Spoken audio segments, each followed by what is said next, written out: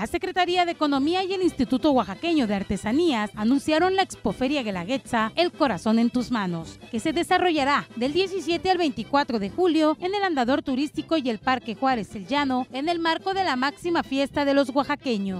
Expo tendrá dos sedes, una ubicada en el Andador Turístico Macedonia Alcalá y la otra en el Paseo Juárez El Llano.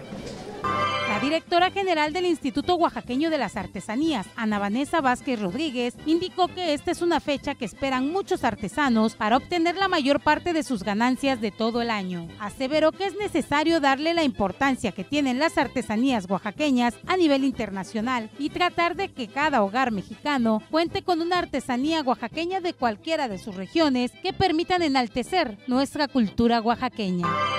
Alrededor de 250 familias o talleres artesanales que estarán eh, distribuidos de manera de la siguiente manera: 110 en Macedonia Alcalá y 130 en Paseo Juárez El Llano. Pues que consuman lo hecho en Oaxaca que hay que fortalecer y enaltecer el trabajo de todos los artistas oaxaqueños que día a día y de manera tradicional y cultural trabajan para eh, sacar a sus familias adelante y pues tenemos que apoyar lo nuestro, ¿no?